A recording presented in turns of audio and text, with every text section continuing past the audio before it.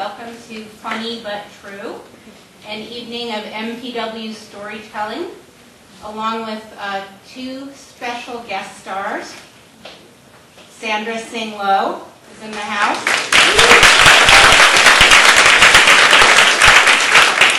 And Shelley Berman is in the house.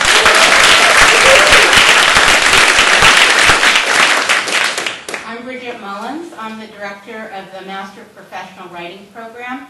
We're a multi-genre graduate, creative, and professional writing program. We're entering into our 40th year this spring. And this is a program that's pretty unique. It's a program in which students can study writing for stage and screen, poetry, creative nonfiction, and um, fiction. And we also just added classes in new media. So if you want to check out the program, feel free to talk to me or to Nan Cohen, who's on our faculty, or Prince Gomolvilas, who's on our faculty, or Sandra Tsing Loh, who's also on our faculty. And Shelley Berman is a lecturer emeritus, so you can also talk to Shelley, or many of our students are here in the audience as well.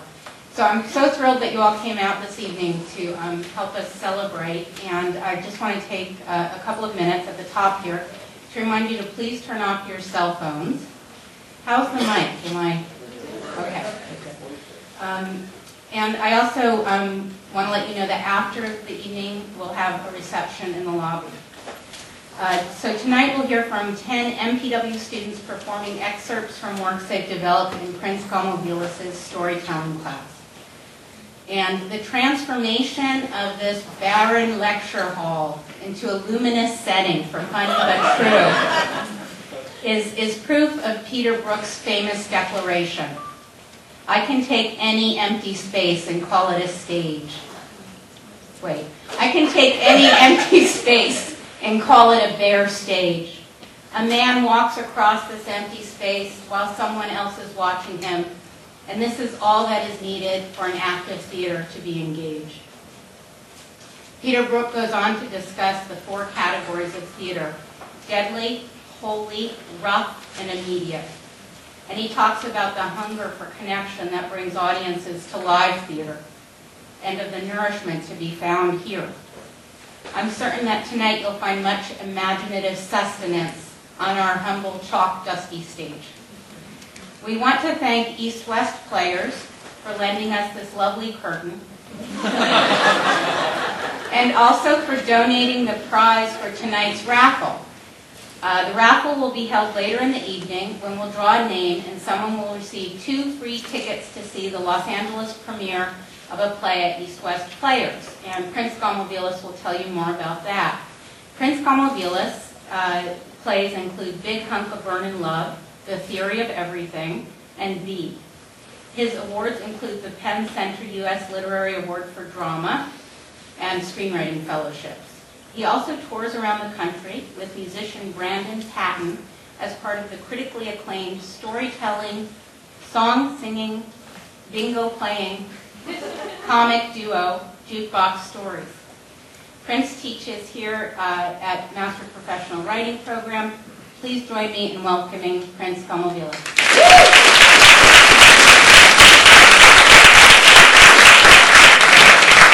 You. Thanks, everybody. Is everybody excited to be here? All right. Are you have time? All right. Let me tell you a little bit about the class I've been teaching this summer. Uh, I've been teaching a class called uh, Writing and Performing Comic Monologues, and this is the culmination of that class. Today is our very last class session.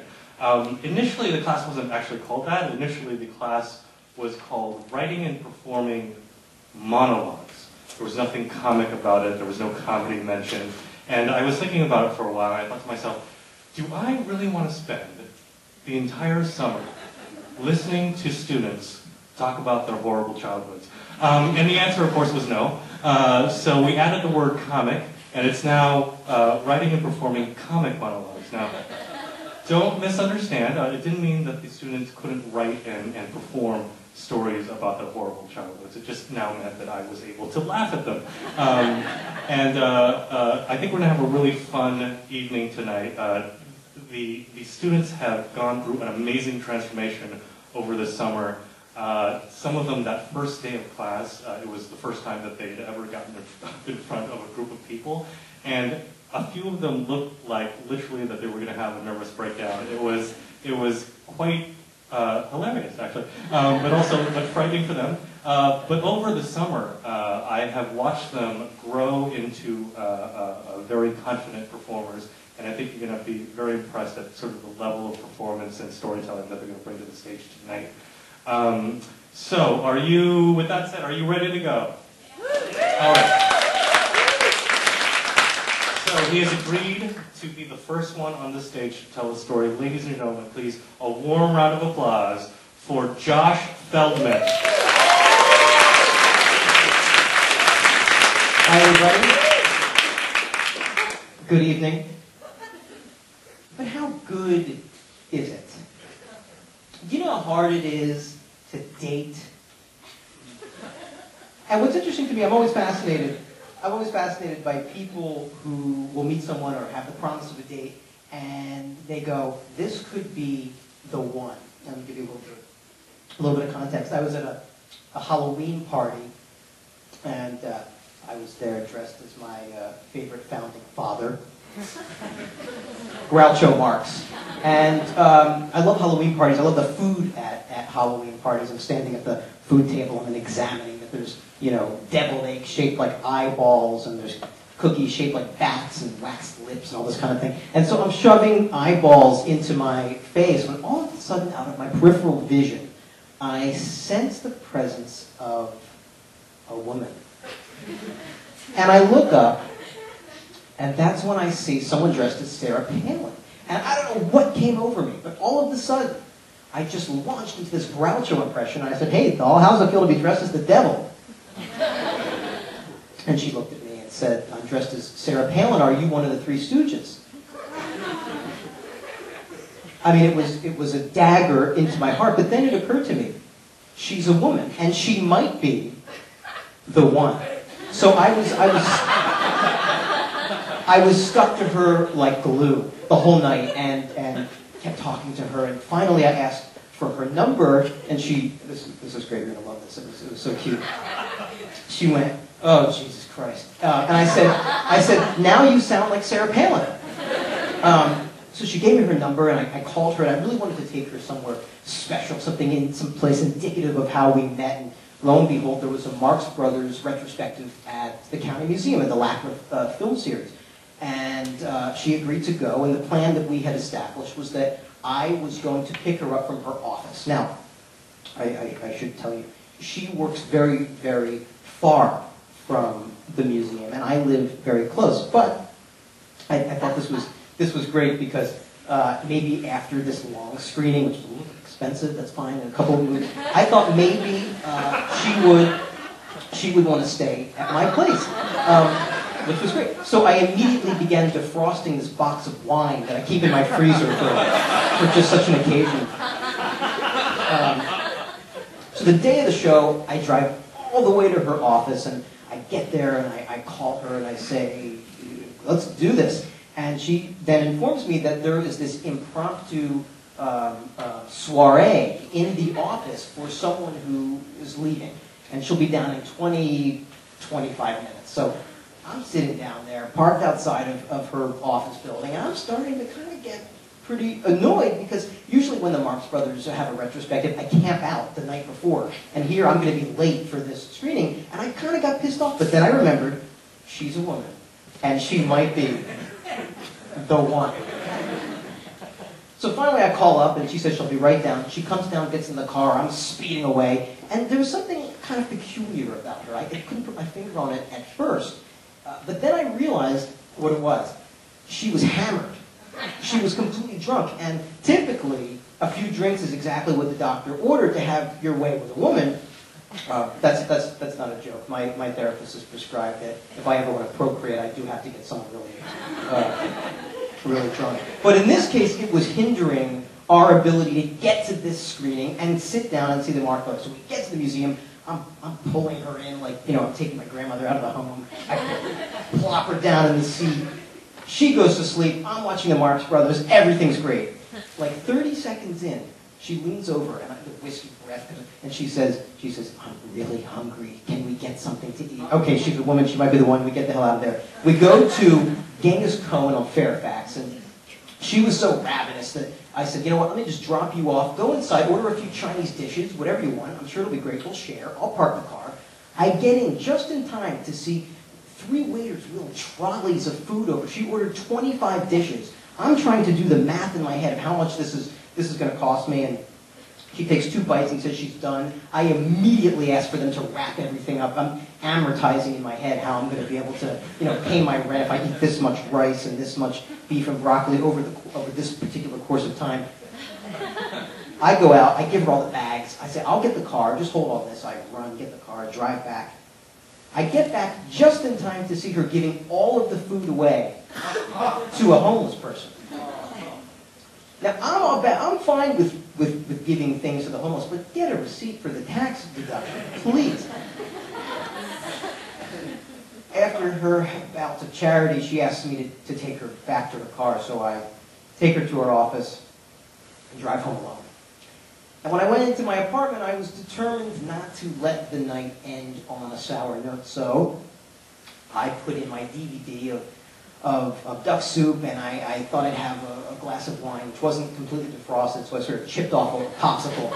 Um, and I'm sitting on the couch, and I'm, I'm watching Groucho and licking my wine. And I just started to feel uh, really bad, and um, started to think about, you know, dating and how difficult it is. And all of a sudden, on the sofa next to me, my cell phone lights up, and there's a text, and it said, "Hey Joel, thanks for the Stooges movie." And that's when I realized maybe she is the one. Thanks very much. Thanks. All right. It doesn't stop. It keeps on going. Ladies and gentlemen, please, round of applause for Susan Kavinsky.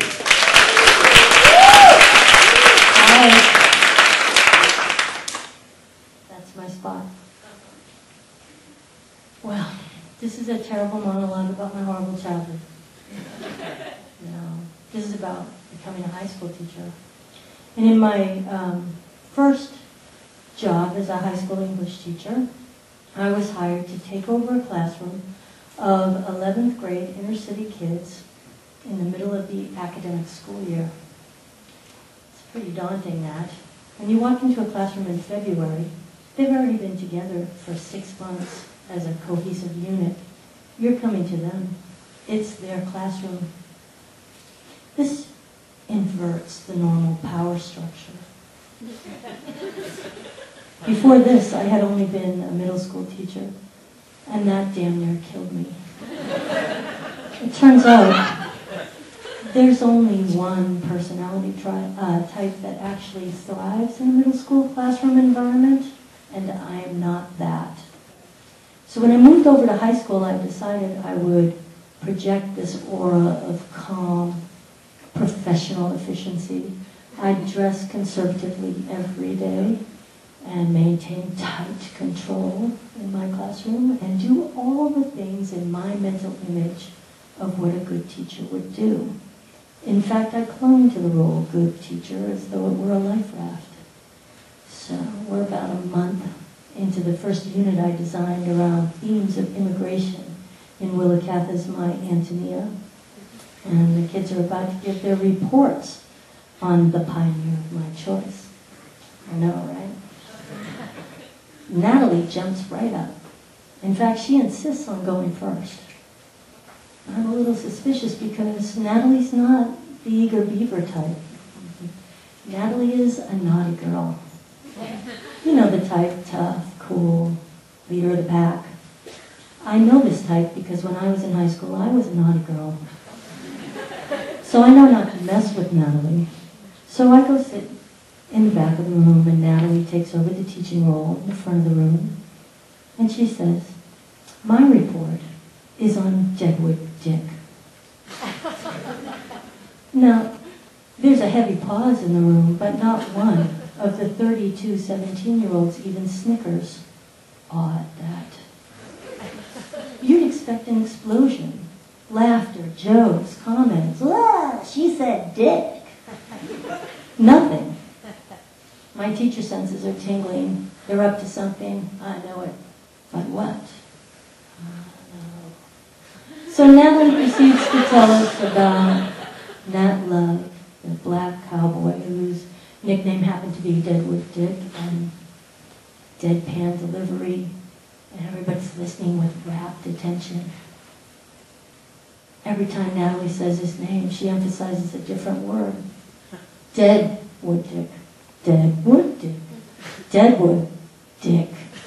Deadwood Dick. Deadwood Dick. Does this girl even know how to use a pronoun? I think not. So, there's nothing I can say in this situation. I mean, they're all being perfectly behaved. And if I say anything right now, I'm on the wrong end of the double entendre. Ooh, Miss K got a dirty mind. So, I pretend she isn't saying would dick, would dick, would dick. But I begin to construct mental images. She fills the room with this intertwining assortment of dead, wood, and dick. I lose the narrative thread of her report.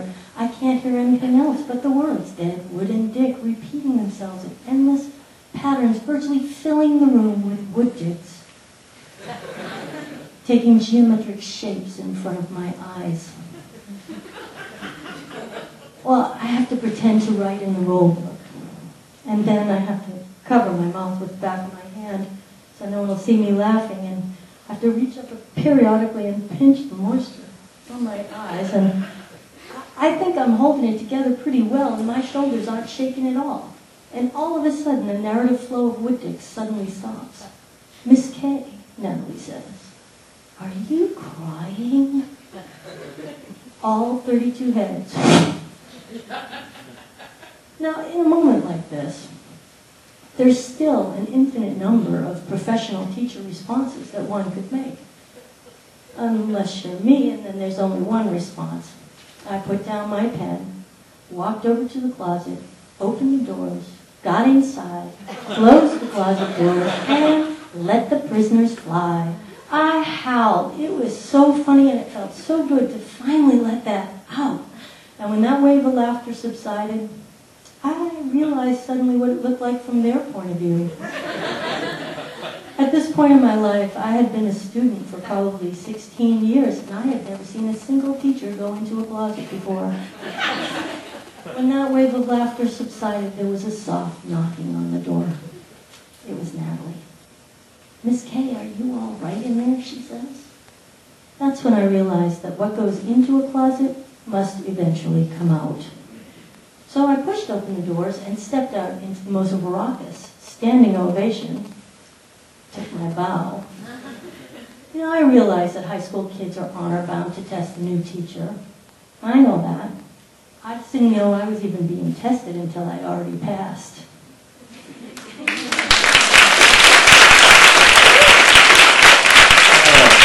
All right, let's bring to the stage. He's so confident, I could see it in his eyes. Hamza Khalil.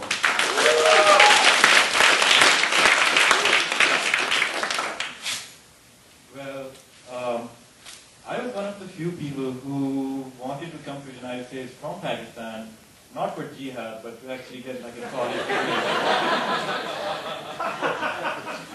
like literally the other end of the earth for us. Like, if we take a giant needle and you stick it in LA and through the globe, on the other side it will probably come out somewhere near my house. Of course, I was bound to miss a few things when I got here, and the thing that I missed most was having servants. because everybody in Pakistan has servants, and you have like a driver, you have a chef, a maid, another driver who's kind of old and blind by now, a gardener, and then you have like six or seven people having tea, washing the gardener as he does his work. And it gets to a point where there are more servants than there are like household people, but anyway. So, and what it meant for me here was uh, my house is always dirty and messy with like food stuff lying around and random shit because I'm so lazy and unclean. But anyway, that's, pro- that's probably why nobody moved in me. To my building for the past six months. So I'm sitting there alone one day, and I see this fruit fly coming, and it's hanging there, and I'm like, hey, buddy, uh, I'm happy to see signs of life. Like, would you mind hanging out for a bit? Like, you can be my pet. And the fruit fly was like, okay, uh, your place looks dirty enough. Maybe we can like work something out. Like, sure. And what I didn't know while I was extending the invitation was that uh, they fuck more than rabbits on Viagra. And like within two or three days, it got to a point where I was actually like a hostage in my own house. And I thought that maybe this was the meaning of my life, to raise these so that they go out and like conquer the world. But anyway, so I was faced with two choices now. Like either I clean my house or wait till the winter to kill all the bugs. And cleaning my house was too much work, so I decided to wait till the winter. And I'm hanging out drinking my beer one day, and suddenly I realized that five or six of them are hanging out on top of the can, like having a party. And I was like, okay, this is personal now. Nobody touches my alcohol, like that it. So I went out the back door to get insecticide just because the front door had disappeared within a wall of like fruit flies, so I had to go out the back. And I got this truckload of insecticide, and I come back inside my house, and I'm really pissed by now because I had to go to the market just because of these little things. And I start spraying, and I say, and I really get into it, and I still start saying like movie lines like, "Come out, come out, wherever you are," and I'm like, "Die, bitch, die!" As soon as. I... Anyways, uh, they are really clever. They start like hiding into like creeks and corners, and I saw it go and spray everywhere. And suddenly they realized that there was one place that uh, I wasn't spraying, so they all hid inside it, and this happened to be my boxers. And so most of them took refuge in the Holy Land, and I thought maybe I should spray some down there, but then I thought like maybe that wasn't such a good idea. So I went into my room, I changed into my jeans, I pulled my socks on top of my jeans just to like make them airtight. And now I'm really pissed. So I, I have like insecticides in both my hands, and I'm like spinning like a windmill, and I'm like everywhere. I'm spraying it all around. And after a while, I realized that my eyes have started to sting, and I can taste the insecticide on my tongue, and my mouth is kind of numb, and I'm dizzy. So I was like, maybe this is enough. Like, maybe I should just go to sleep. And I was like, tomorrow I'll just collect the dead bodies of my enemies. So I went to sleep, and when I woke up, like, I still see like tens of them hanging on my wall. And they were like, hey buddy, have a nice sleep. And I was like, okay, I have to give you this. You are tough little buggers, and I have to respect you. I was just happy they didn't join Al Qaeda because then it would be really hard for both of us, Pakistan and the United States. Thank you guys.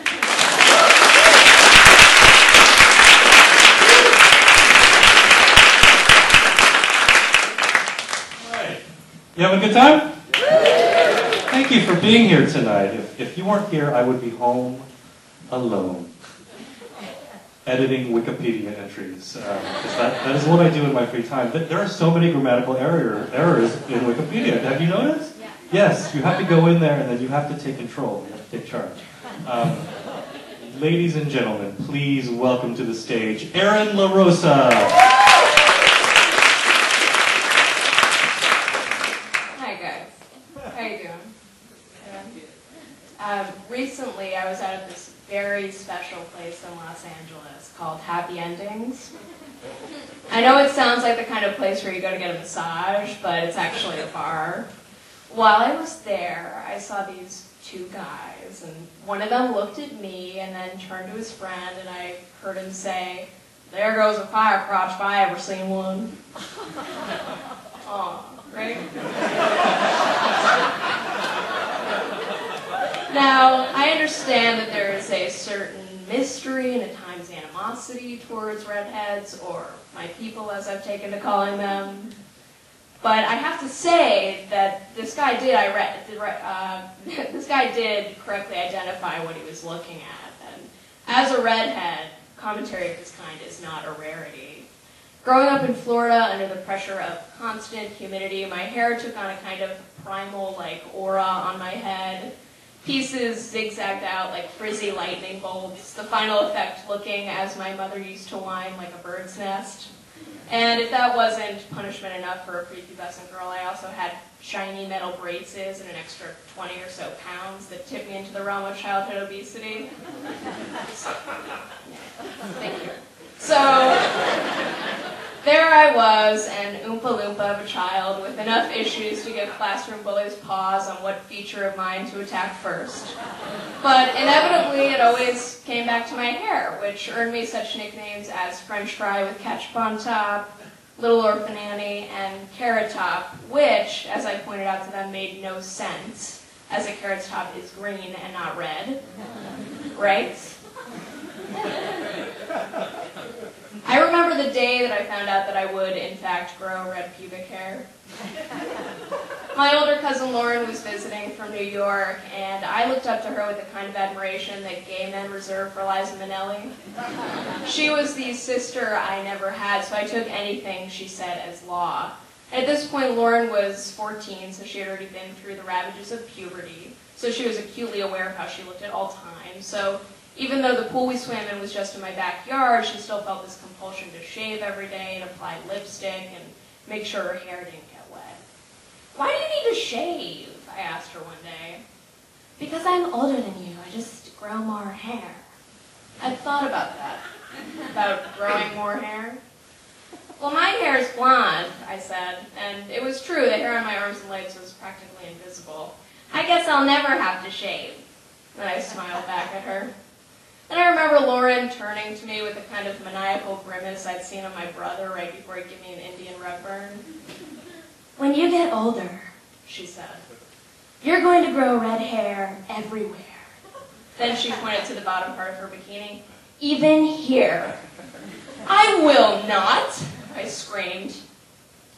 At the time, the idea of red hair covering my body like some sort of monkey fur was enough to make me feel like I might as well kill myself. Lauren was right about the bikini part, but that's pretty much the only other place it sprouted. As I left middle school and went into high school, people started, well, stopped focusing on the hair on my head and instead focused on the hair down there.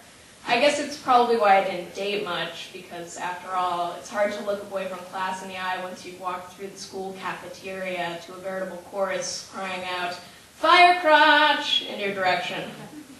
Which, believe me, did happen. I've never heard the pubic hair of a blonde or a brunette or any other color besides a redhead discussed so openly.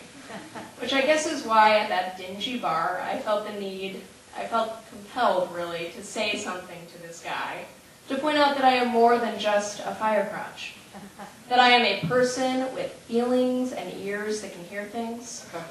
So I decided to pull one of those moves that you see in chick flicks, where the woman who's being cheated on see her, sees her husband's lover out at a bar, right? So she turns, growls, and then marches right up to that bitch and punches her in the nose. Except when I did it, I tripped on my heel and fell flat on my face in front of him. I was really embarrassed. But I got up, and he helped me up, and I looked him in the eye, and I said, thank you. But in a way that really means, fuck you, you know?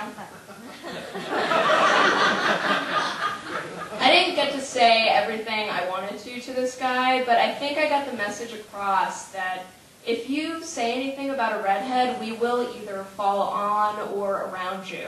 and that's happy ending enough for me.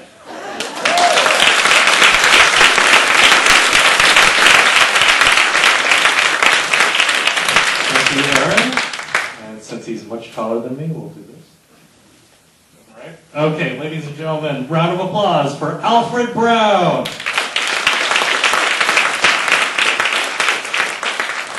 Hello, welcome. Uh, so, I was about 11 years old when I had my first chance with a girl. I went to the Westminster Mall, which was close to where I lived. And uh, I thought it was close, but my mother thought it was much too far.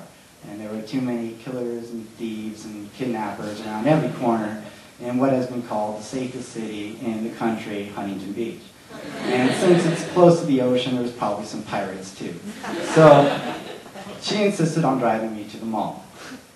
when I got there, it was close to Mother's Day, so I went and I got my mom some candy from See's Candy. I come out and I'm holding this bag of gumdrops and jelly beans, I believe it was, when uh, I get approached by two girls, one of whom is kind of pretty. And though I didn't realize it at the time, what was going to happen was going to prepare me for the rest of my life. So, uh, kind of pretty one approaches me and says, you know, what's your name? I'm, of course, flabbergasted and flummoxed and have no idea what to say. So I say, Aloysius. I don't know where I got that, probably, probably from some Looney Tunes cartoon or something. Uh, nor did I know why I wanted to hide my identity. It's not like at 11 I was scared with the identity theft. Or, for that matter, she was going to track me down to my school and then make fun of me. So I don't know why I was scared. But there was anxiety, as there always is. And uh, I knew my mom was going to come pick me up. So, and I didn't want my mom to see me cavorting with these loose women. So, I didn't, I didn't want uh, them to see me getting into the car with my mom either, because I'm 11, I should have my own car. Who knows what's going through an 11-year-old's mind? So, anyways, uh, me taking after that, um, I decided to, you know, introduce myself again. So, anyway, she says to me, "What's your name?" Uh, Aloysius. Um, where are you from? Uh, around. uh, okay. Uh, what kind of school do you go to? I, I, I don't go to school. And then she asked me, okay, so are you going to eat all that candy yourself? I'm like, oh, this, um, no, this isn't for me. This is for my, uh, in fact, I think I see my car. Actually, it's not my car. It's my mom. Uh, I, I gotta go. And I ran. I wish I could make it sound more dignified, but there's only so much dignity when you're 11. I bolted. And, well, as soon as I got to my car, I immediately was filled with regret. I was thinking to myself, you know, how could I let this happen? You know, uh, and I started to, well, basically self-flagellate myself mentally with lots of insults, um, calling myself stupid and scared, things like stupid scaredy head. I mean, what do you expect some clever portmanteau when you're like, you know, 11?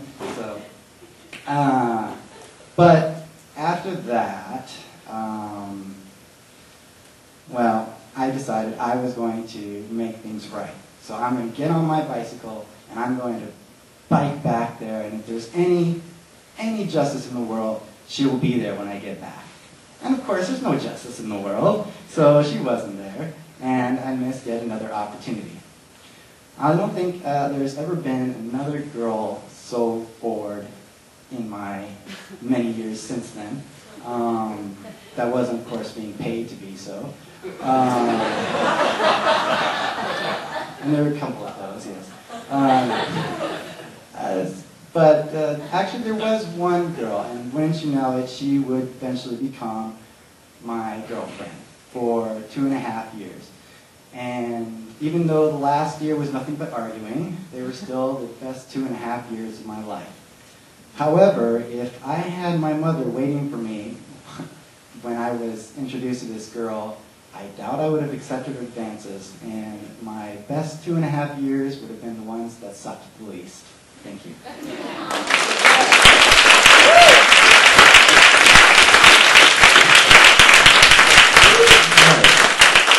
Because really, if, you, if, if this weren't happening tonight, I would I would I would be uh, I would go out to go see Step Up 3D again. I went opening weekend, didn't you? Come on, it's Step Up and it's in 3D. It's amazing. Nobody would go with me. Seriously, none of my friends wanted to see Step Up 3D. I could not even convince my own mother to come with me. And she is so desperate for contact with me that she spams me like multiple times per day. And even she did not want to come to Step Up 3D with me. So I went alone to a late showing. I was the only one in the theater. It was, it was almost as sad as Alfred's story. But uh, uh, it was, but you know, next time, next time you'll come with me. Because I know, I know you wanted to go and you were embarrassed. But if you were with me, you wouldn't be. Um, ladies and gentlemen, please give a big hand to welcome to the stage Josh Jacobson.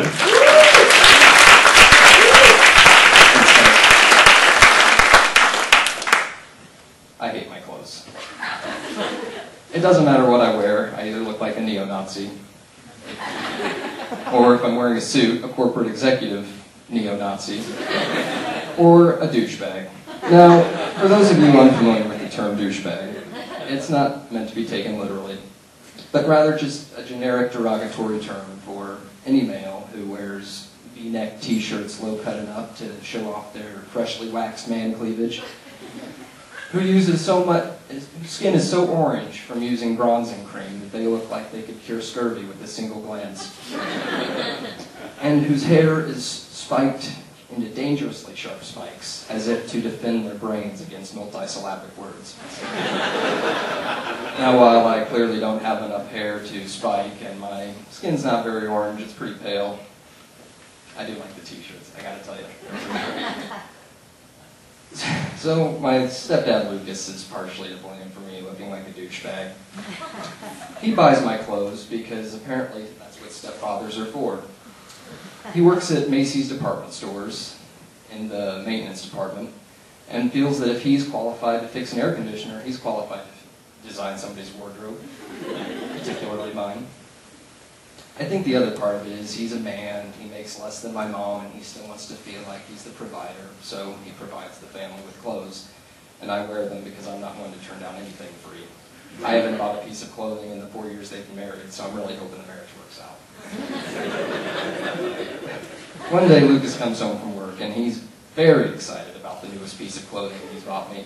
You're going to love it, Josh. And I know I'm going to love it because it was free. Again, you know. So he takes it out of the Macy's bag, and it's this gray hooded sweatshirt. And, you know, for a minute I am pretty excited.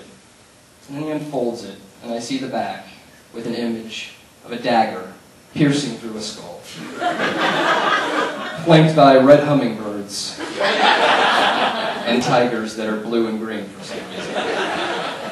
It looks like the kind of tattoo a sailor would get if that sailor were on acid and had been lobotomized. But, that, but that's not even the worst part. The worst part is the name spanning across the back. Ed Hardy. Now, if you're not familiar with Edward Hardy, let me tell you, he is a world-renowned designer of clothing for douchebags. And while I'm trying to eschew that image of myself, it seems that Lucas, my stepfather, still wants me to dress like one. I sort of am tonight. So, I mean, I feel like the whole thing could probably be fixed really easily if I just started buying my own clothes. But I'm not going to do that. Clothes are expensive. So, over the next few days, Lucas's excitement about the jacket does not wane. He wants to know, have I worn it yet? What do your friends think about it? Let me tell you, I don't need to wear it to know what my friends are thinking. They're going to look at me and think I'm a douchebag. One Saturday, the family is preparing for the outing to Costco because that's what you do on Saturdays in Missouri. It's part, it's part of our religion. Costco on Saturdays, church on Sundays. My mom keeps the Costco coupon book right next to the family Bible in the kitchen for easy reference. And normally I'm on board for a ritualistic Costco outing, but this Saturday it's rainy and kind of chilly, and I know if I go out on a t- in a t-shirt, Lucas is going to take one look at me and go, where's your new jacket? so I don't want to hurt his feelings, and I put on this damn thing. And I get to the car, and I see my mother, and my younger sister, and Lucas, all in gray sweatshirts, all with red hummingbirds, and and tigers and amazing Technicolor dream coats. Lucas liked the jacket so much, he bought everyone in the household an Ed Hardy jacket which would be fine if we were on our way to a spray tan convention. but we're not. And I know to the pious patrons of the Independence, Missouri Costco, we're going to look like we're auditioning for Jersey Shore. but I see Lucas, and he's proud, and he's the patriarch. And I know to him, we look like his family, even if we are just a family of douchebags.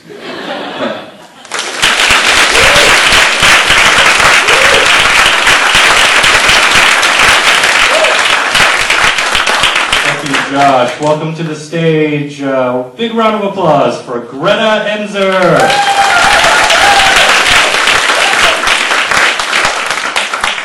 So when I lost the desire to hustle acting gigs and decided to die and become a teacher, my friend said to me, I said to my friend, I just want to have a normal life and have babies.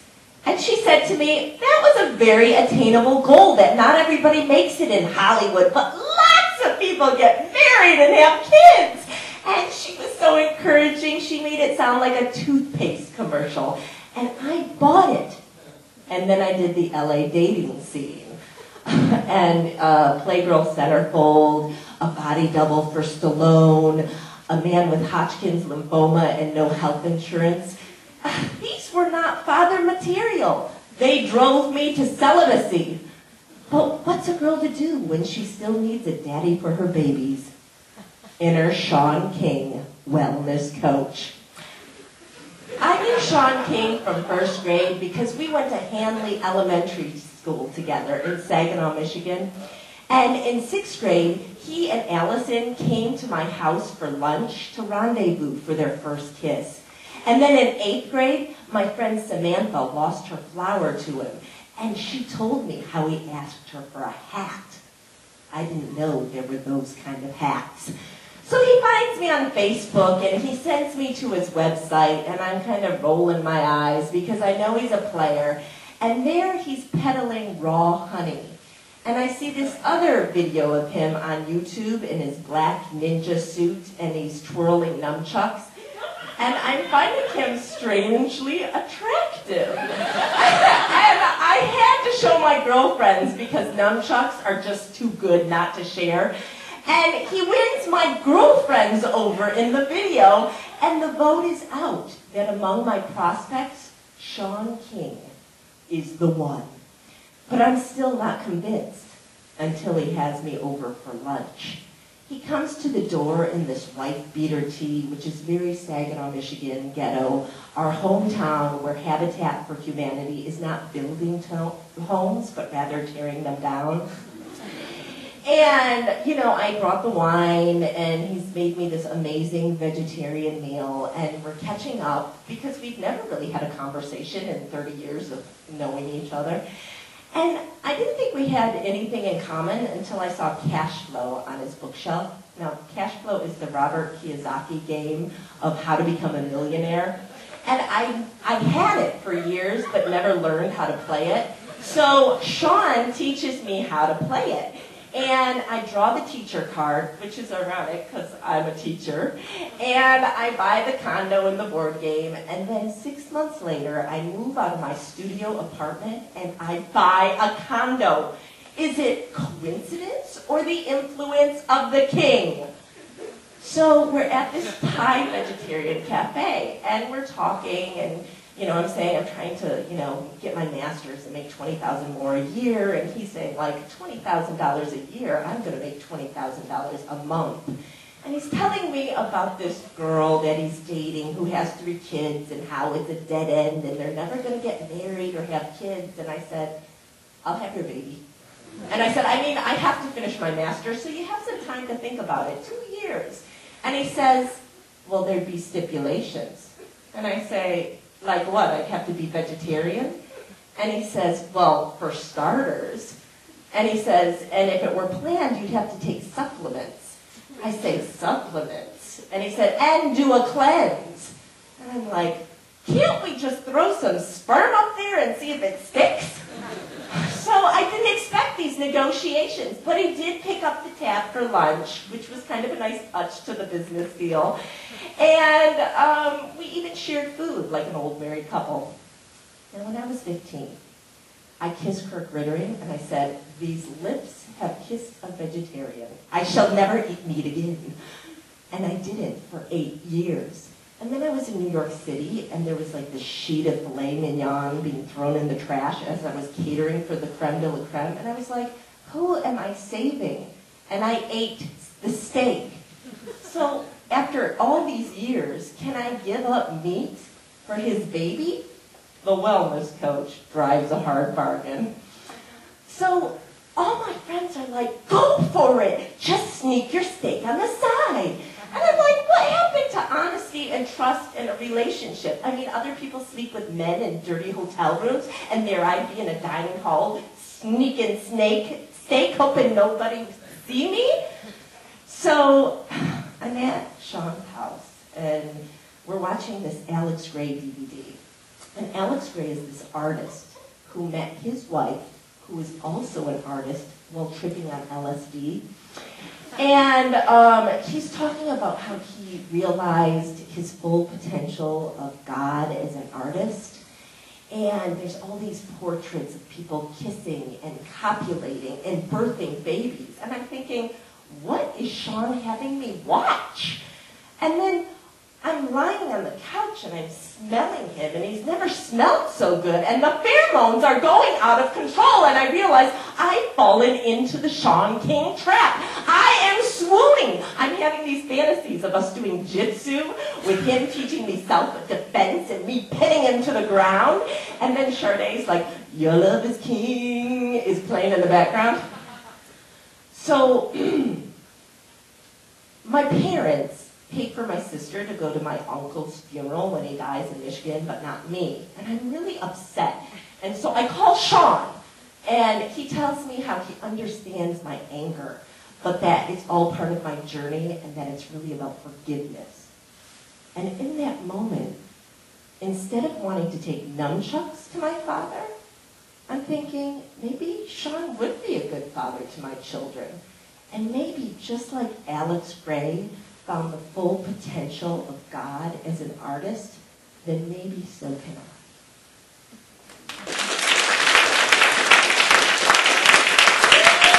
Thank you, Greta. All right. Having fun still? Having fun? Yes. Yes, because if it wasn't editing Wikipedia entries or going to see Step Up 3D again, I would be home watching one of my uh, Dateline murder specials. I have like I have like a dozen of them on my DVR. Those Keith Morrison asked penetrating questions. He, he's really tough on those people. Um, welcome to the stage, ladies and gentlemen, Andy Apui. Hello, everybody. So last week, I am standing in Target watching a security guard look through my purse. And he's looking for something that's triggered the alarm system.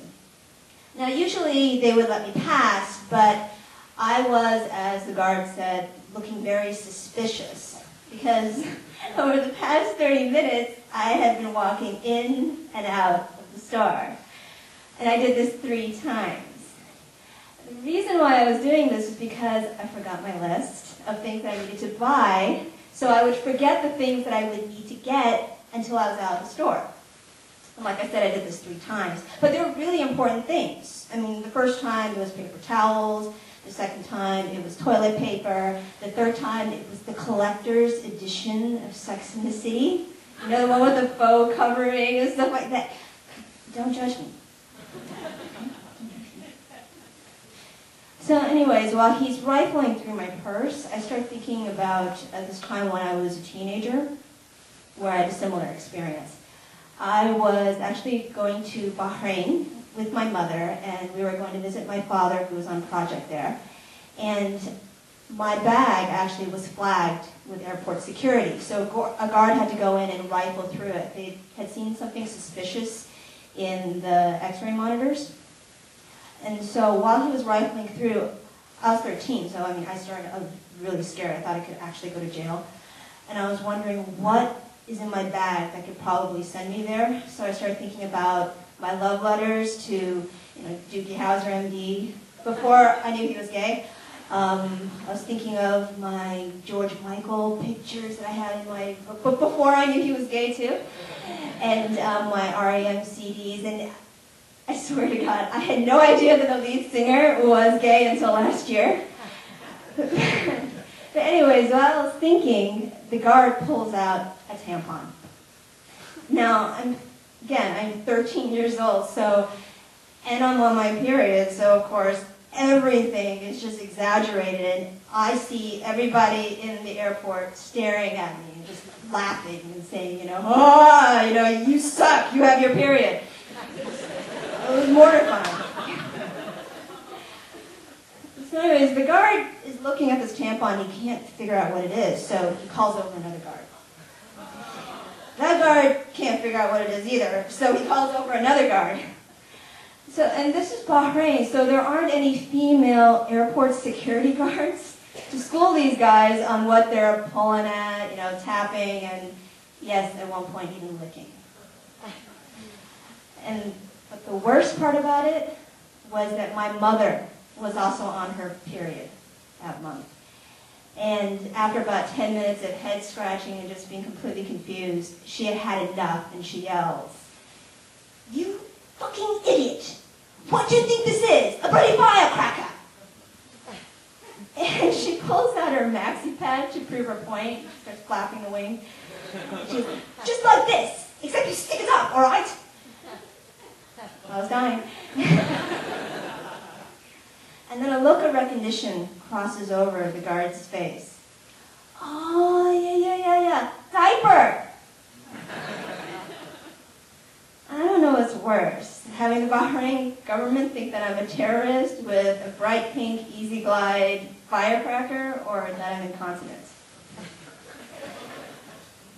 Anyways, back to Target. The guard finally finds what he's looking for. He takes the object out of the bag, he runs it past the sensors, and it goes beep. He has it. He hands it to me, and it's a tampon with a security sensor stuck onto it. And he starts laughing, and he says to me, it's really not that time of the month for you, is it? I don't know, at least he didn't think it was a diaper, right?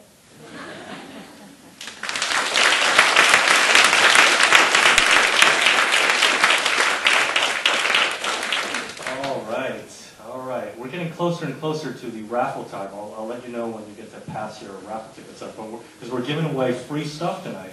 Yeah, free stuff. Very exciting. Um, everybody loves free stuff. Uh, but right now, before we do that, we're going to welcome to the stage Krishna Narayanamurthy.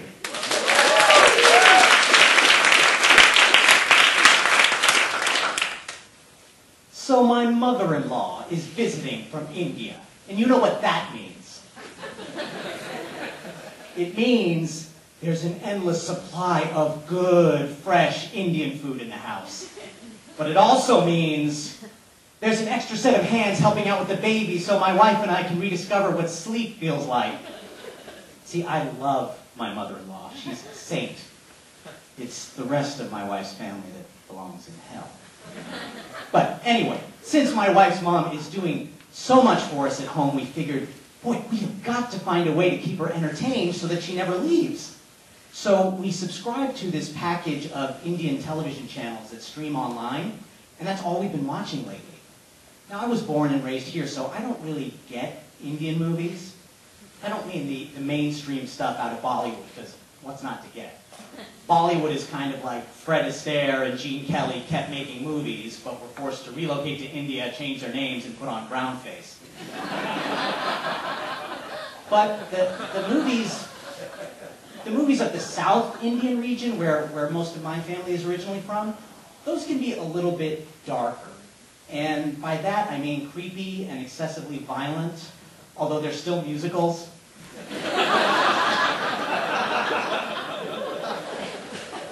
So we're, we're, watching this movie on the Kannada language channel, and uh, after a typical song and dance routine, suddenly a woman is hit in the face with an axe. Now, I don't have much of a tolerance for violent, violence against women in, in any language, but this axe in the face thing was just kind of weirdly mesmerizing for some reason. See, the story is about this guy with mob connections, and he's, he's trying to clean up his life, so he gets in on his job, meets a beautiful woman, and decides to marry her. But just as they're sitting down under the mandap to have the, the Hindu wedding ceremony, the mob goons show up at the door. And this one particularly nasty looking dude pulls this object out from behind his back and sort of shot puts it down the aisle. And you watch it sort of uh, spin in slow motion as it flies across the room. At first you think, oh, it, it's just a small stick. What's he going to do with that? But then as it comes more into focus, oh wait, it, it's a knife. No, no, no, it's, it's a hatchet. No, wait, it's a tomahawk. Holy crap, it's a full-fledged fireman's axe. And the gangster had been aiming for the groom, but instead he hits the bride, right in the forehead where her red dot of kumkum powder should be. And, and the axe splits her skull open and just kind of plants itself there for like an uncomfortable amount of time. And, and it leaves you thinking, oh my God, how could someone do this to a bride on her wedding day? But, but she survives. And, and her husband spends the rest of the movie trying to get revenge, albeit unsuccessfully. And the woman, now with like half a face and severe brain damage, uh, has to fit in with her husband's family, although they're hiding her up in the attic so that no one sees her, and uh, she's got to fight to keep her inheritance or something crazy. So at this point, I, I've had enough, and uh, I turn to my wife, Ash, who is sitting next to me, and unlike me, actually lived in India for several years. And I ask her, so honey, does this sort, does this sort of thing happen often in Bangalore? And Ash has been paying no attention to the movie whatsoever, which is apparently how Indian cinema is meant to be viewed. and instead, she starts talking about how if things get any worse with the economy here, we should move to India. And I'm thinking, you know, I don't know if I'm really cut out for India. I can't really support a country that would produce this film. then again, we've made Charlie's Angels full throttle.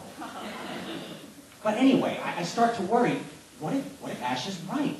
I mean, I had believed CNBC when they said that America always bounces back, but what if it doesn't this time? What if this is the end of the empire? What if my parents, who, who immigrated here in the 60s, what if they made a huge mistake and invested in the wrong country? It's like they bought America's stock when it was at its highest, and now it's worthless. That's not the Warren Buffett way. Meanwhile, India is not just taking away American jobs and capital, it's taking over the culture. Here in Los Angeles, there is a yoga studio literally on every street corner. And I'm the only Indian person that goes to any of them.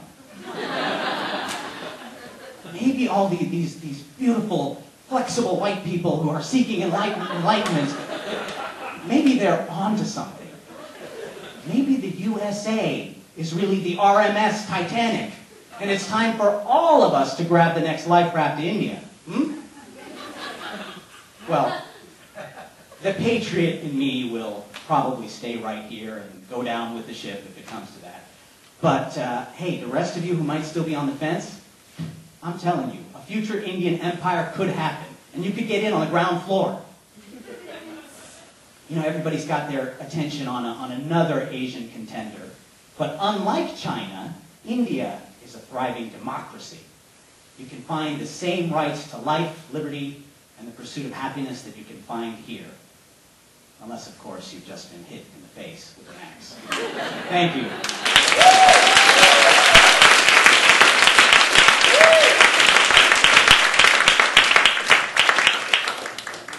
Rounding out the portion of the evening, so please give a big applause for our last student storyteller, Jennifer Mitchell.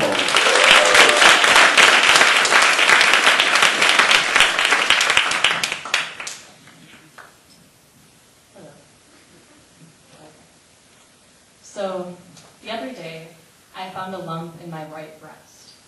It was morning, so I tried to go about the day casually, trying to pretend that nothing wrong happened. But of course, in Los Angeles, you have so much time to sit in the car and think. So I'm driving around in traffic, and I'm thinking about breast cancer the whole time. Like, what if I have it? I don't want breast cancer, is my first thought. But I have a history of it in my family, and I've always had skin issues, like moles doctors have told me to watch out for, that kind of thing. So I'm a little scared. And I'm also thinking about all those women who have to get one or both breasts removed to cure their cancer. I don't have that much to start with. Why would God take away what little boob I have? Now, I have always thought that plastic surgery is such a horrible trend. But that day in my car, just after finding a lump in my breast, I'm pretty much planning on having it. I mean, if just one had to go, I'd at least want them to even me out. And then, you know, as long as I'm there, I might as well go up a cup size or two. I even start thinking that this might be my chance to be a busty woman. I imagine myself walking around with C cups. And then I realized that I am so living in Los Angeles. And I just had the plastic surgery fantasy to prove it. I went to my boyfriend's house later that night. And I looked at him and I said, Will you touch my boob? And he was like, Yeah, sure. And I was like, No, this is serious. I think I found a lump today. So he was like, Okay, and he touched my boob. And then he asked, Can I touch the other one? And I was like, No, you jerk, this is not a joke. I have a history of this in my family and I've been worried all day. And he was like, No, I just wanted to see if the other one felt like the first one. And I'm like, Okay, that's a good idea. So he felt my other boob and he's like, You know, there's like kind of a little of this in this one too. So I kind of felt around and I'm like, Okay, I think you're right. But I felt the first one and I still felt like it felt a little funny. I tried to lighten the mood and I'm like, you know, I might have to get plastic surgery, laughing. And he was like, really? Kind of excited. and I'm like, no, not just for fun. Completely forgetting the fact that I had dreamed of C cups earlier that day. Then I got a little more serious and I'm like, you know, what if I have to lose my boobs? They do that, you know, to cure this. And then he got serious because he could tell that I was a little scared. And he was like, this is nothing. You're going to be fine. Nothing's going to happen.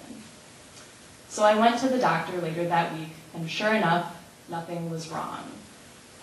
I am so happy that I don't have breast cancer, but I am still considering plastic surgery. Maybe C cups. No, probably D cups. No, definitely double D. Thank you.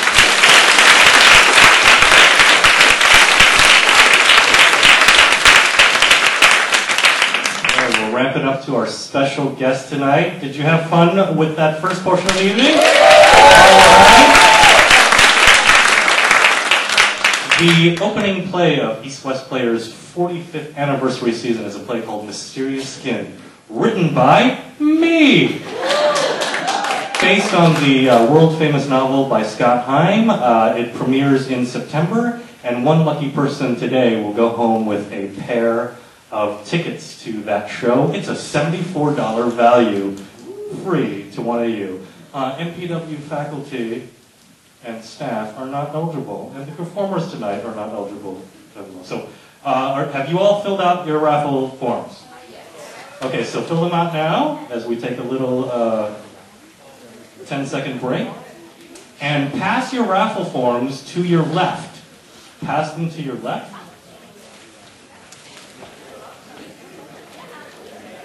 And then the person on the aisle will be responsible for those raffle forms that I will come to collect. All right?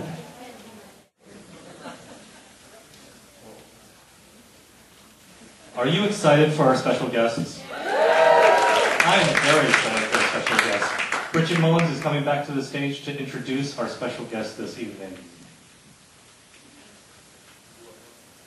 Um, so I'm just so amazed by our student storytellers. Um, uh, these are um, poets and fiction writers and nonfiction writers that we have here. So this is astonishing because, as you know, writing is a solitary occupation. So, uh, Muriel Rukeyser said the universe is composed not of atoms but of stories. And that's a reminder. Um, you might have noticed tonight that Elle Newland, uh, our photographer, is wandering around. She's actually a, an amazing documentarian who's um, doing a documentary about um, Shelley Berman. So she's here tonight taking photos. Uh, so, so first up uh, is someone who should be, uh, we have, first Sandra will come up, and um, Sandra Tsing Loh should actually be the poster child for MPW, I think. She's um, someone who cooks on all burners. She's a, a essay writer. She's an amazing um, storyteller and performer. She has her uh, show, The Loh Down on Science, on NPR. Um, her novel is, uh, she has a wonderful novel called um, If You Lived Here, You'd Be Home by Now. Her latest book is Mother on Fire. Even her titles are funny. Um, she's also a contributor to the Atlantic Monthly, where she's also a contributing editor. She's a frequent contributor to publications all over the planet. Uh, she's also an activist and one of the best chroniclers and witnesses of Los Angeles that we're uh, lucky to have. In other words, um, she's sort of a visionary. Uh, she's incredibly funny and provocative, but she's also empathetic. It seems to me that she is, as Garcia Lorca says, always on the side of those who have nothing. There's an ongoing context of social and political awareness in her work, and she sees that gender and class often preempt other considerations in one's life. She's always a champion for the underdog. She's interested in change. She's been reporting, shaping, and creating spaces, for social thought and awareness in her work. Through her work for two decades, she's persistent. She's someone that can be described as a visionary in the true sense of the word. Please join me in welcoming Sandra Tsing.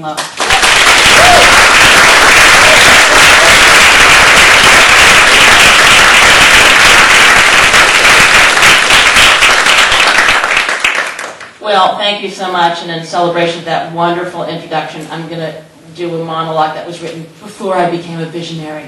There is no social activism in this piece. There is nothing to be gained at all from listening to this story. Uh, you guys were so fun. I was really delighted. I, I, I laughed. I laughed in, in, all of your pieces, and, and tears came, like good tears, good tears. Um, and I was particularly moved by all of your dating stories Word of advice, though, if you get desperate in your dating travails and decide to date your friend, don't do it. And this story, I, I, hope, will prove that. Um, it's a piece from a one-woman show I did um, off-Broadway in, in 98 um, called Bad Sex with Bud Kemp.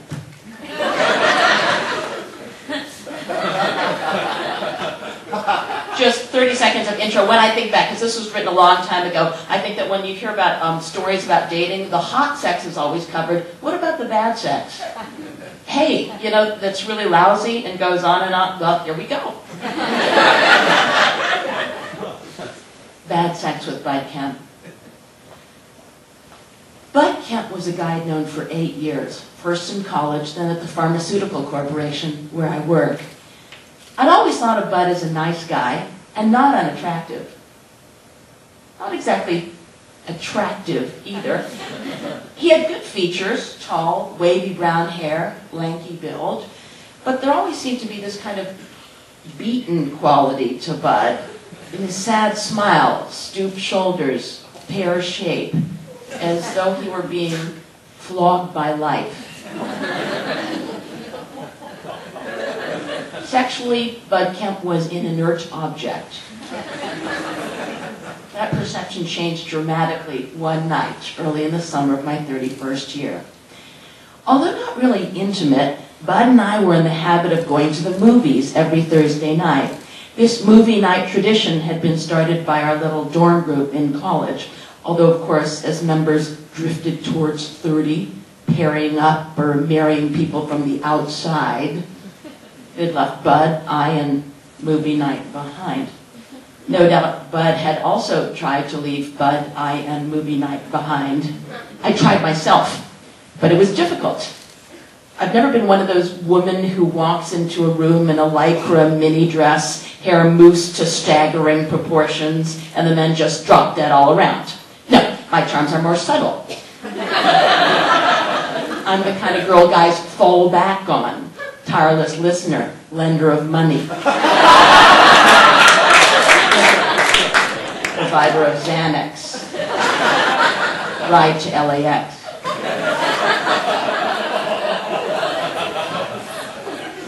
And so, as though held together by gravity, eight years later, Bud and I would still find ourselves sitting together in the darkened movie theater, clutching separate containers of popcorn, not saying a word. Hardly a date, I think. Page turn. but one night, I looked over at Bud during the opening credits. And for the first time, I realized what a sharp profile he had. what relatively clear skin. and his, fat hands clasped over one big knee. They were nice too. Suddenly a, a phrase popped into my mind. The strong, capable hands of Bud Kemp. strong, capable, silent. What deep waters lay beneath this silence? Suddenly I was madly curious to find out. Could this Bud Kemp be used for sex? so things are getting hot, if in kind of a lukewarm way. The coming of our pharmaceutical corporation's summer softball league in Torrance makes them even hotter. Think about it, Torrance. Oh yeah, once a year, summer softball provides we who labor in Sector D7 with a reason to just go wild. We may leave work five minutes early one Friday, wear funny raccoon hats with our team names on them, yell woo woo for no reason at all. My team, the Fly Balls, is composed mostly of the four F's of the softball universe. Skinny guys in Greenpeace t-shirts, reluctant wives and girlfriends, little Ramon from the mailroom. No wonder we were being beaten, whipped, dominated by Terminator 2000, the league leaders. Bitching for them today? Bud Kemp. That's right. It's a little known fact about Bud. He did play a year of junior varsity basketball in college. So what if it was at a small science school with a 57-game losing streak? So what if Bud was thrown onto the court mainly for use as a human shield? The point is, in Sector D7, Bud Kemp is our sports stud. And a damn good-looking one, too. Hair faintly blonded from the sun, skin lightly tanned. And are those new glasses? God, yes, instead of sad clown sideways teardrops, these are cool wire rims. Sting wears wire rims. Bud steps onto the mound, pulls his t-shirt off, and his naked torso is okay. 33 and holding is the triumphal message here. Although he's no Schwarzenegger, there are definite suggestions of biceps and pecs. More than suggestions, announcements even. Not very loud announcements, but the point is sit-ups are being completed, racquetball played, body parts attended to, secretly anointed perhaps. Is it just my third fuzzy navel talking? Or is Bud Kemp ready for sex? We're Pizza Hut now, talking and laughing. Sex is definitely in the air tonight. For everyone in Sector D7. Beer slosh, music thumps, lamps sway, people in funny raccoon hats worm up against each other. Bud and I are no exception. Underneath the table, thigh to thigh, sweat pant to sweat pant, we're doing kind of a sensual leg thing. It's kind of laugh and kick out, laugh and kick out. Obviously, it's driving him wild. You want to go somewhere? Bud says, like, yeah, bud. I say, um, um, yeah. What? It's so loud and wild in here, no one would notice if you tore, tore your own bra off and used it as a lasso. In my case, it would be the sexy black bra I'd slipped on in the bathroom for a guy called Bud Kemp. Away from here, he repeats. How about your place? Sounds great. Alrighty then. Alrighty. We're using secret code now. Bud and Kemp and I are talking, moving as one. I sense almost by telepathy that he wants to swing by the 7-Eleven for a six-pack. We skate effortlessly through the glooming, luminescent aisles like Torvill and Dean. Shh. We pause calmly. That's a very old reference, but very special you're going. Bartles and James wine coolers, everyone. Thank you, my fellow seniors. All right. We pause, pause, pause calmly, almost worshipfully before the glass refrigerators, which present their dramatic panoramas, endless vistas of possibility. Heineken, Dos Equis, Tsingtao, Kirin, Moosehead, Foster's. The whole world is ours, literally, through beer. He chooses Coors. I say I like it too. I guess we both like it, he says. We both. And suddenly, I have a vision of, of Bud Kemp and I together on a Sunday morning, reading the paper, drinking our favorite General Foods International coffee.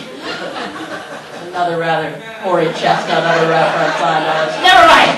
Amaretto hazelnut, the one we both like. And instead of my weekends yawning empty, I will be spending them with someone, together, doing things. Not just updating Wik- Wikipedia like Prince is doing. First it was movies, now it is beer. Soon it will be cars, vacations, houses, children. This is the vision I cling onto as we return to his condo in Redondo Beach, drain the beer, move to leftover Gallo, as I sit in the living room and rub and rub and rub Bud Kemp's neck. And Bud Kemp talks and talks and talks about what else? Bud Kemp. And sometimes I wonder if I'm really suited for a career in pharmaceutical management. I mean, what if my calling is something more in the marketing of an applied plastics field? What kind of plastics did you have in mind? Oh, I don't know. Single cell liposome polymer, blah, blah, blah, blah. Blah, blah, me, me, me. Blah, blah, blah. Me, me, me. Blah, blah, blah. Me, me, me. He is making me lose hold of my vision. We need to escalate things to the next level. Bud, I say, let's go to bed. The moon slants in through the shade, transforming everything into misshapen lumps. It is uncomfortably warm and stuffy. Bud is lying on his bed, fully clothed, frozen. This is so weird, he says, after all this time. I know, I say, but I think you're gonna like it. I sit on the edge of the bed, remove one shoe, then the other. Bud Kemp does not move, make any invitation. I shove in next to him. Suddenly, horny, in a kind of confused primeval way, we grapple each other like circus bears. His head is buried in my shoulder. He is stroking my hair with these odd penning motions. this kind of humming sound.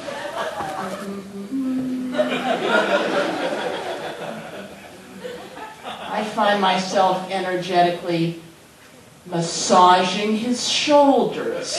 I don't know why. Move down, lower back, move down, buttocks. But it seems invasive to be massaging the buttocks of such an old friend, so I find myself merely patting them as though in congratulations. Oh, if only we could get that sensual leg thing going again. Lap and kick out, lap and kick out. But there is no laughter here, only worry and sweat. How I long for Pizza Hut with its pepperoni-laced orgy-like ambiance. Sex between two people can be such a lonely thing. Grimly pushing on, I pull my t-shirt off, revealing my sexy black bra. His cue to just go wild. But Bud Kemp is rubbing his eyes with both hands. Still I wait with accusing breasts. Still Bud rubs, making this kind of faint humming sound. And I realize that Bud Kemp cannot bring himself to face my breasts in all their terrible candor. They blaze in the darkness like headlights, illuminating the falseness of all those movie nights. Eventually he stops rubbing and just lies there with both hands cupped over his eyes as though expecting to be flogged. His nostrils quiver. Is that a snort? My idea is that we will never speak of this incident again, see each other, or even continue to live in the same state. And we don't, practically, as I learned the next morning in the long, arduous drive back to Pasadena. Burger King coffee blinking like a lizard. But no, final page turn. The bouquet that arrives the next morning is the ugliest I have ever seen. It is a chaos of white baby's breath, purple lupin, pink carnations, yellow daisies, all stabbing against each other in frantic counterpoint. Even worse is the card, which reads, I saw these flowers and thought of you. Love Bud. Love Bud. One thing is for sure, he is not my love bud, and this is not me at age 31, a frantic bouquet, slowly wilting. Pregnant pause, look to the corner, slow dim of lights. Thank you.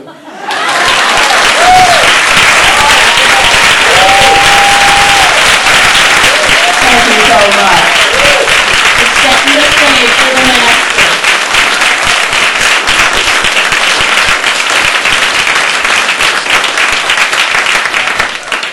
Okay, back to pretentious Brighde.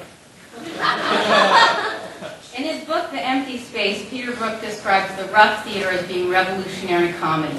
Shelley Berman was one of these revolutionary presences in comedy, and his act and his writing and his presence were part of the shift of consciousness of what funny could be considered. Um, his act was described as a scary jolt of reality. His monologues were described as Kafkaesque.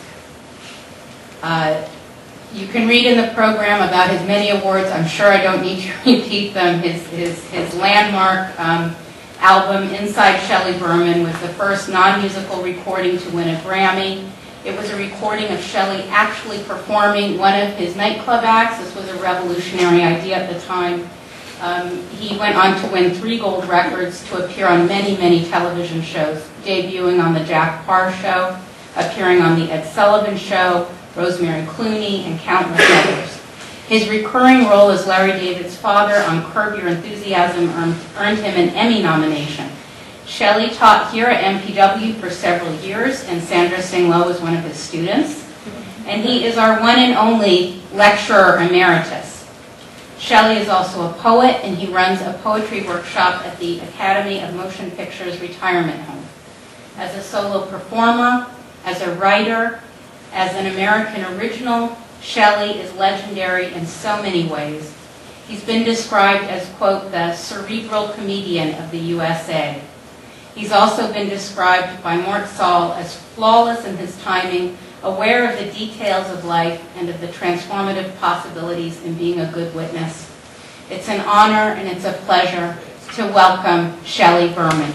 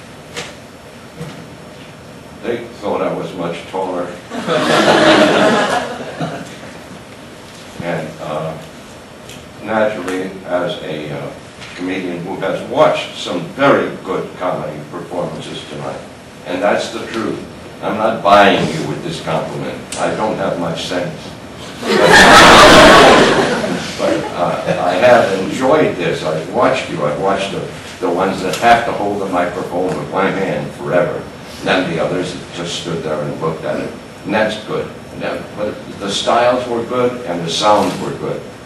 And I got to tell you something.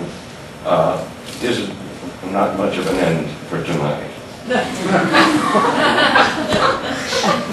oh, I think I'm funnier than you.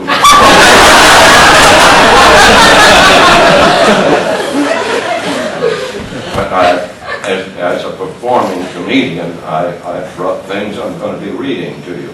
So, but. Uh, I know that I should hit you with something strong, but I don't have anything like that. I, I, I, do I seem like I'm out of speech? Uh, that I'm not willing? Did- uh, I didn't sleep well last night. It happens now and then. I, I, I watch commercials and, and uh, uh, I get really uh, bothered by them. They seem to penetrate the soul. So right now, and even now, I'm thinking of the last one I heard. It lasts for more than four hours.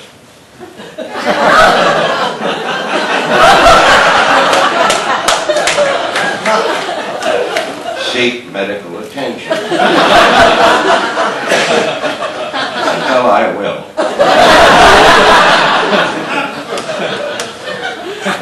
I'll die before I give it up.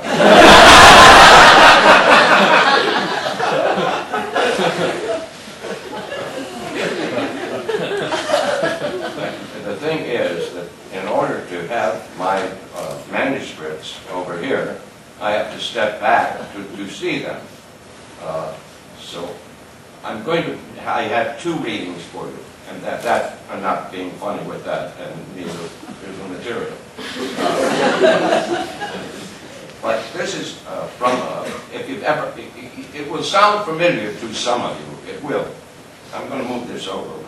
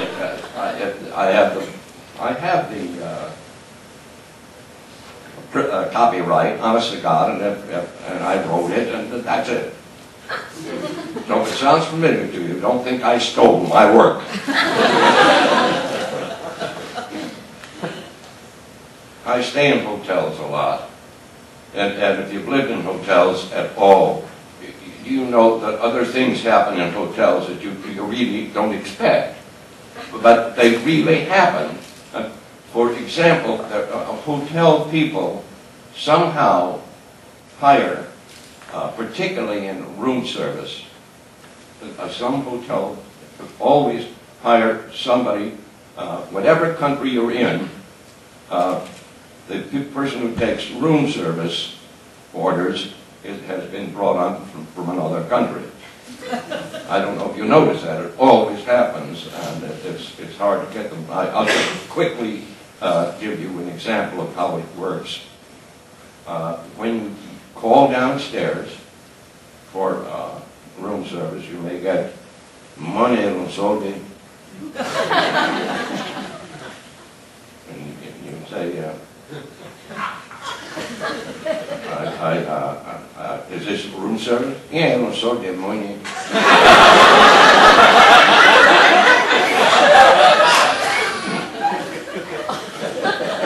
Is this room service? Yeah, room service. Money, help you.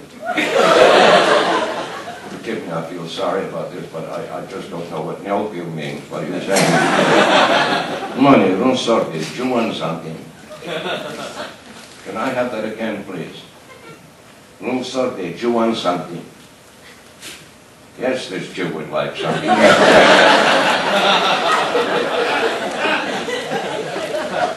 What you want, please? I'd like some eggs. Eggs. Eggs. Eggs. Is that the same as eggs? Yes, eggs. Eggs. How'd you lie then? I beg your pardon? How'd you lie then? I'm not getting that, sir. How'd you lie then? How'd you lie your eggs?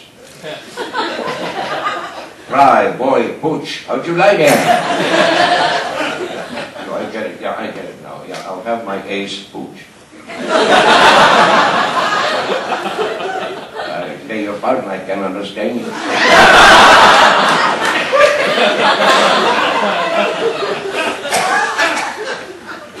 Hotels can supply you with all kinds of misery. Dear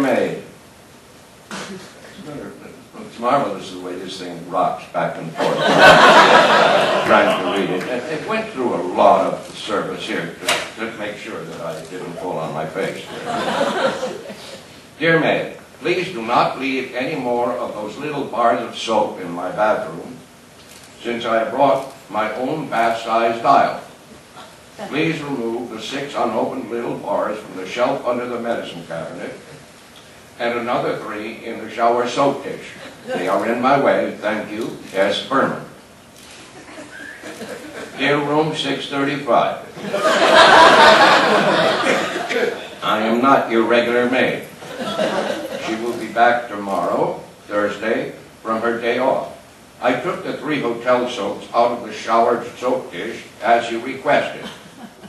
The six bars on your shelf I took out of your way and put on top of your Kleenex dispenser in case you should change your mind.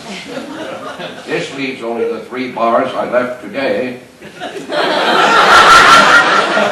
which my instructions from the management is to leave three soaps daily. Uh, I hope this is satisfactory. If anything else comes up, please call Mrs. Carmen in the linen room. Dear maid, I hope you are my regular maid. Apparently Kathy did not tell you about my note to her concerning the little bars of soap. When I got back to my room this evening, I found you had added three little Camays to the shelf under my medicine cabinet. I'm going to be here in the hotel for a full two weeks, and I've brought my own bath-sized dial. So I won't need those six little Camays which are now on the shelf. They are in my way when shaving, brushing teeth, etc. Please remove them. S. Berman. Dear Mr. Berman, my day off was last Wednesday, so the relief maid left three hotel soaps which we are instructed by the management. I took the six soaps which were in your way on the shelf and put them in the soap where your dial was. I put the dial in the medicine cabinet for your convenience. I didn't remove the three complimentary soaps which are always placed inside the medicine cabinet for all new check-ins and which you did not object to when you checked in last Monday. Also, I did place three hotel soaps on your shelf as per my instructions from the management since you left no instructions to the contrary. Please let me know if I can be of any further assistance. Or call the linen room. Her name is Miss Carmen. Have a pleasant stay, your regular maid, Dottie.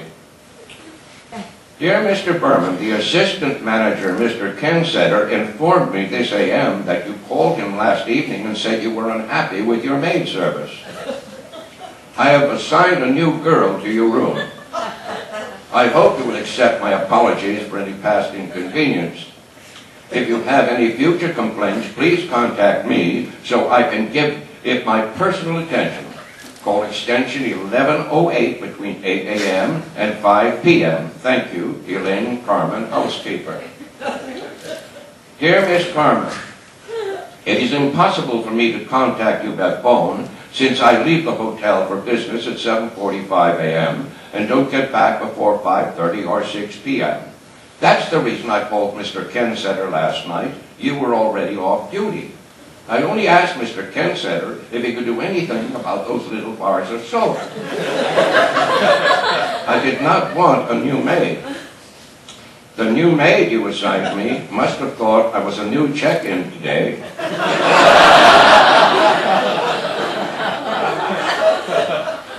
Uh, because she left another three bars of hotel soap in my medicine cabinet along with a regular delivery of three bars on the bathroom shelf.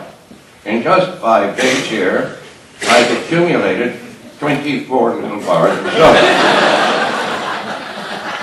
I'm beginning to dread the next nine days. Why are you doing this to me?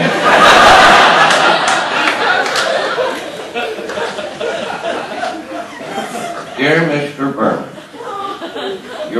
maid Kathy has been instructed to stop delivering soap to your room and remove the extra soap.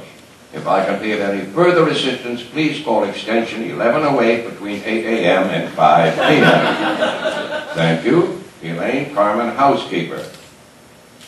Dear Mr. Kensetter, my backside dial is missing.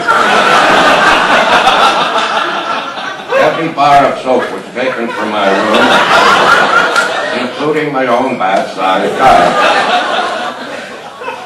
I came in late last night and had to call the bellhop to bring me a bar of soap so I could take a shower.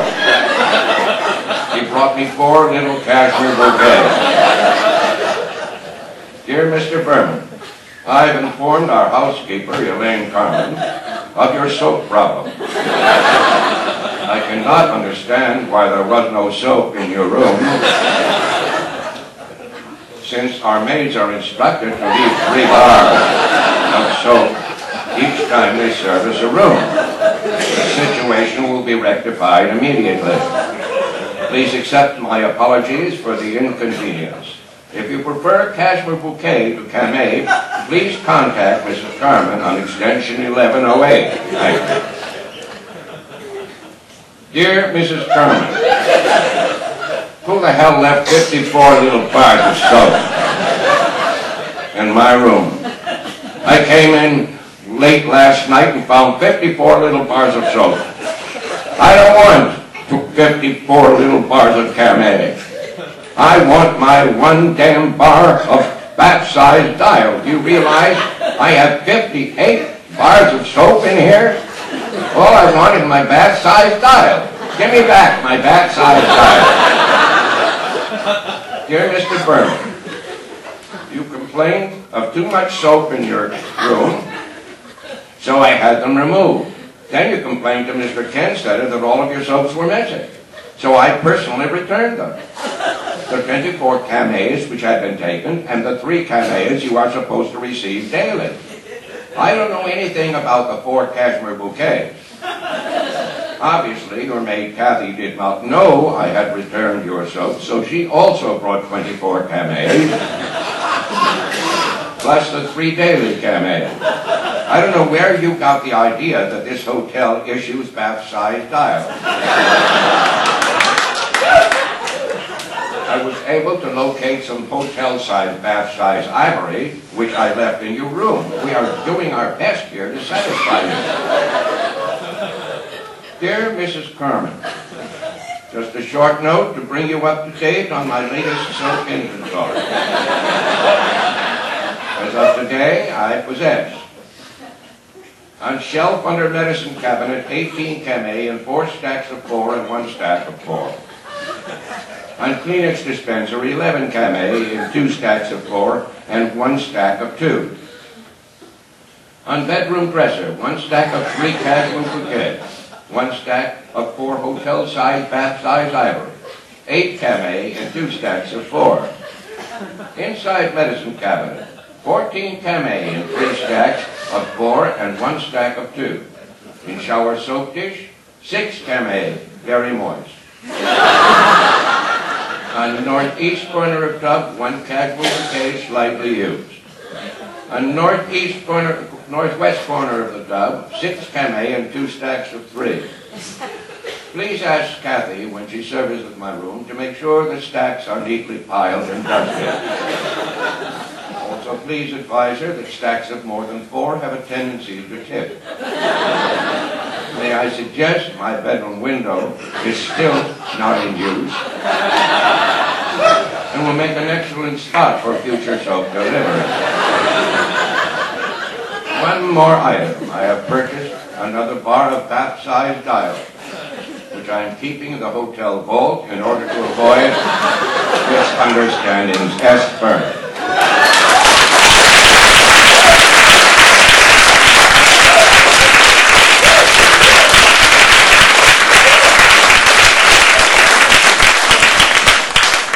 And now for the long drawn-out one.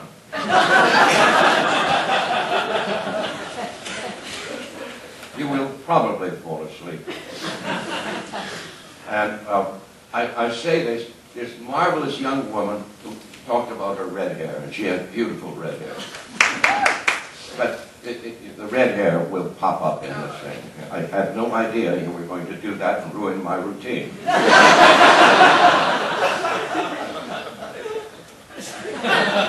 but what can I do? It's going to happen here.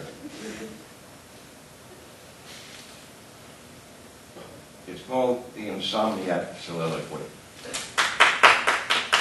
You're the only one who's ever heard me.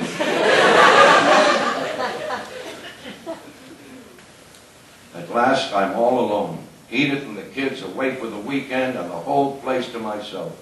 Two days off and not an obligation in the world. The end of a wonderful day, full of accomplishment, no loose ends, nothing to reproach myself for. It is fantastic. I think I'll sleep until I wake up, that's all. I've done everything right tonight. I'm wearing cool, clean, crisp pajamas. In a cool, clean, crisp bed. I've read about a hundred pages of a cool, clean, crisp novel. At the first yawn of comfortable weariness, I closed the book, turned out the lights, and now I'm ready for sweet, restful sleep. Everything is at its place and all right with the world. For the first time in years, I'm in bed before midnight. It is. God bless Mommy and Daddy, and Edith and the kids, and everybody in the whole world, and my boss, Mr. Sloan, in that order. and now to sleep. To sleep. Wonderful. To sleep. Perchance to dream. Aye, there's the rub. Rub. Rub-a-dub-dub, three men in a tub. Three men in a tub. Three men in one tub. With one secretary. And only two phones. Two phones for three men. And one lousy secretary. Three men in one lousy, overcrowded little and only two phones. George uses one of the phones for himself, and Frank and I have to share the other. I wonder how come George has his own phone. I wonder if Mr. Sloan thinks George is more important than I am. Well, I'm certainly not going to lie here and worry about George all night, that's for sure. Okay, so he has his own phone, big deal. Tonight's night for sleep, not for worrying about George. I like George. He's a nice guy, that redhead. Wow, has he got red hair? Oh boy, this bed is comfortable. It's the best investment I ever made. All I want to do now is just plain sleep. Just plain sleep. I wonder why all redheads are left-handed. ah, this feels good. This feels very, very good. Let me preface the whole thing by informing you I did not come into this office to tell you how to run your business, Mr. Sloan. I came in here only as a loyal and conscientious employee to ask how I can better serve this company, to inquire how I can help raise profits and lower costs, and to find out how come George has his own goddamn phone. oh, no, I better not do that. I'll keep myself awake all night if I keep that up. Oh, no. From now on, I will not think about a thing, that's all. My mind is a complete blank. I am concentrating on only one thing, sleep. I am not thinking about a thing. And above all, I am not thinking about George and his goddamn phone. There is no George, and there is no phone. No phone for George to use to make personal calls from the office, while Frank and I have to wait for each other to get off the phone in order to make a business call while that left-handed louse calls his wife, his in-laws, his bookie. How petty can you get? Ah, why should I care what he's got anyway? I've got, got all a man could ask for. I just go to sleep counting my blessings, that's all. Got my home, got my wife, got my kids. Got my home, got my got my kids. I got plenty of nothing. and nothing's plenty for me. I got no misery. I got no lock on my door, that's no way to be. What do they need a lock on that door for? And as long as they do have a lock, why shouldn't everybody in the office have his own key? And as long as they only have one key, why should the secretary keep it? Why should the only girl in the office have the key to that particular room? Dorothy, can I have the chi- uh, cat? Dorothy, can I have the key like a child asking for permission? That girl knows every single time I've gone to the toilet in the past four years. I was too disgusting to even aggravate myself about it.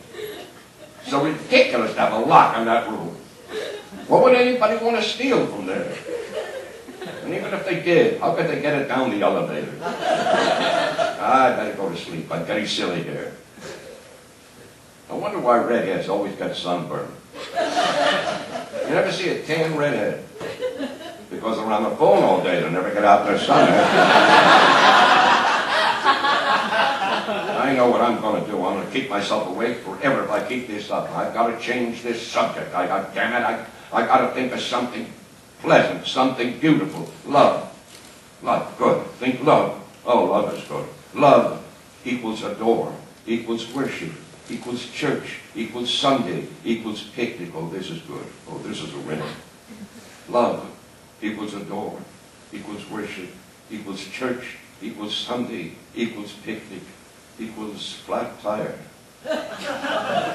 equals the hottest August 15th in 25 years. Equals Edith, if I told you once, I told you a thousand times, don't let the kids lean on the car while it's jacked up. oh my God, what a mess. Oh, what a miserable day. What a day, what a day. Day after day after day. Monday, Tuesday, Wednesday, Thursday, Friday, Saturday, Sunday. I'm having my breakdown tonight. I knew it was coming and it was coming. holiday, holiday, holiday. Independence Day, Columbus Day, Memorial Day, Flag Day, Dennis Day, Doris Day. Oh, God. They'll come, they'll take me away, I'll be screaming. Mayday. Mayday, Mayday. Payday. Payday, payday. Birthday. Happy birthday. Happy Mother's Day. Happy Father's Day. Happy Valentine's Day. Hello, Edith. I just called to wish you and the kids a happy Groundhog Day. Oh, I'm in trouble tonight. I wonder what time it is. Oh, my goodness, it's ten minutes to seven already. Oh, for Pete's sake, I'm holding the clock upside down. It's 20 after one. I wonder why I can't sleep tonight. Because I've been lying here thinking, that's why. And if somebody walked in right now and asked me what I've been thinking about for the last hour and 20 minutes, so help me, I couldn't tell him. Some basic issue was definitely bugging me, but that's for sure. But somewhere along the way, I've lost the thread. I've forgotten it. Isn't it? Well, something. I, actually forgot what's bothering me. What a break. Maybe now I'll slip. I actually forgot what was bothering me. Damn it, what the hell was bothering me?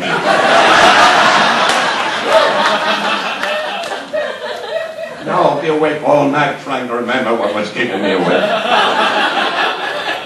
All right, let's trace it down. Let's see now. The last thing I remember thinking was uh, groundhogs. Now, I've been lying here in this bed for an hour and 20 minutes worrying about groundhogs. Who the hell worries about a groundhog? What kind of an idiot would stay awake on account of a groundhog? Unless the damn thing were in bed with him. Cute, harmless little animals. Some have gray fur, some have brown fur. I've even seen a few with red fur.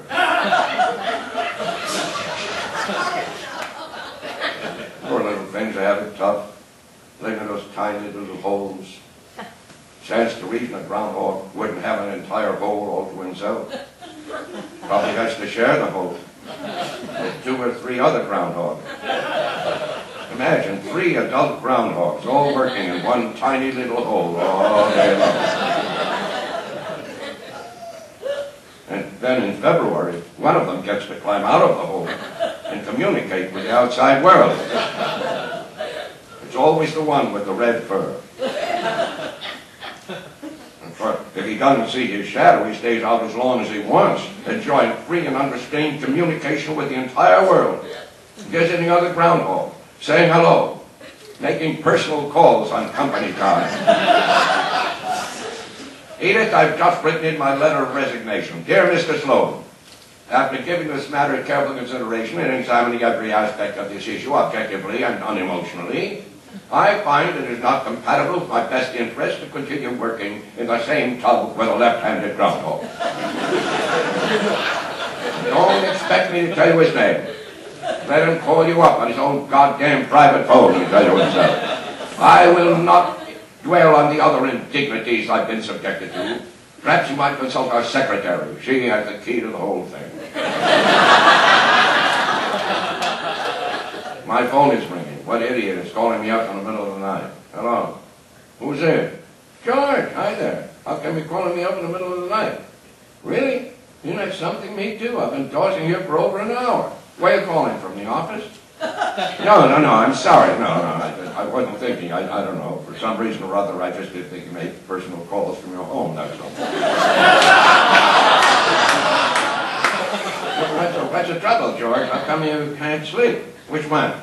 No, I know that there's always been that uh, that one on my desk, and then there's a, no, no, there's always been that calculator on my desk, and then there's the other calculator on the table near the wall. So naturally, I always use the one on my desk, and you and Frank always share the one on the table near the wall. No, no, no, Mr. Sloan never said it was my own private calculator. George, that's ridiculous. He doesn't think I'm more important than you. What a silly thing to worry about. Is that what's been keeping you awake? Well, all I can say is you ought to be ashamed of yourself. It's so ridiculous for a grown man to be so insecure. This isn't the kind of thinking you'd expect from a mature man. You expect this sort of thing from a groundhog, a child, a child. Child. Feel better now? Okay, Lefty. Have a nice weekend. See you Monday in the tub.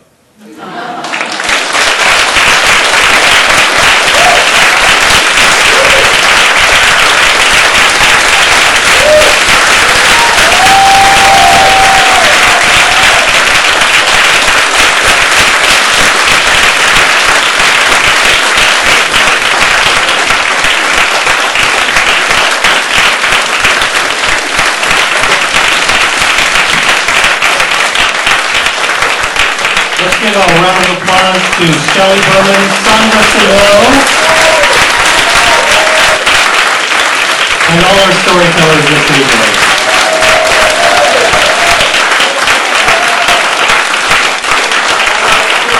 Please feel free to mingle with us uh, in here and in the lobby. We've got dessert out there for you and hors d'oeuvres and uh, drink and uh, enjoy and stick around. Thanks for coming to the show.